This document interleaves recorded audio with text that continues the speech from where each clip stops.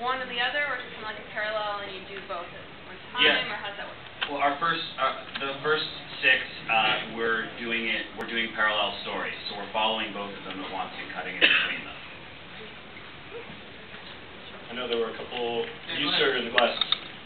Uh, When you first mentioned that you met Rick, you referred to the stories as screenplays. Was it, when you, did you write them as a different medium, or were they meant to be? They were they, they were both TV pilots, right?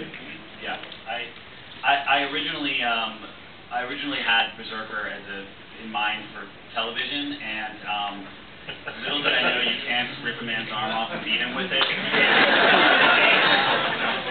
But, uh, you know, and, and now that we've, we've maybe just in comics, uh, you know, it's, actually, I think it's a much better medium for the story, and it's not something that, uh, initially I would have, uh, I would have thought of, but Milo saw it right away, and honestly, that's, and it's also, you know, Top Cow also is a, you know, a home for it. It really, this specific story, I think, really is a Top Cow story.